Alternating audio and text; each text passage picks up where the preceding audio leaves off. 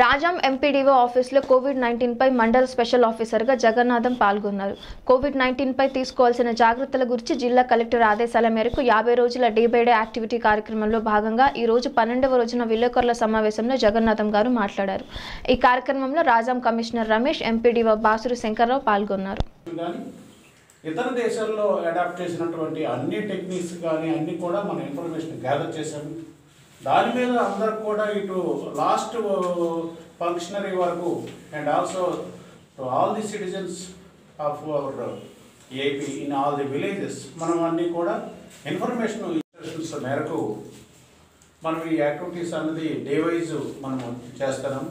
ప్రధానంగా ఈ యాక్టివిటీస్ చేపట్టడానికి కారణం ఏంటంటే మనం కోవిడ్ ఇప్పటికే కోవిడ్ అన్నది ఒక నైన్ మంత్స్ అయిపోయింది. ఈ నైన్ మంత్స్లో కూడా ఎన్నో రకాల అనుభవాలు ఆ, కష్టాలు సుఖాలు అన్నీ అనుభవించాం మనం.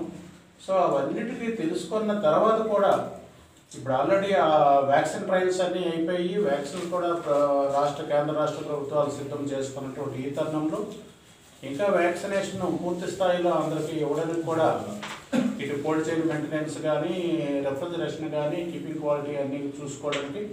సో పాయింట్స్ డిపాజిట్స్ అన్నీ ఇంకా యాక్టివిటీస్ మనం చేపట్టడానికి ఇంకా ఒక నాలుగైదు వారాలు పట్టే అవకాశం ఉంది కాబట్టి ఈ తరుణంలో అన్ని ఇతర దేశాల్లో కూడా ఈవెన్ మన రా- మా దేశంలో కూడా కొన్ని రాష్ట్రాల్లో కోవిడ్ సెకండ్ వేవ్ అంటూ ఢిల్లీ కానీ ఇతర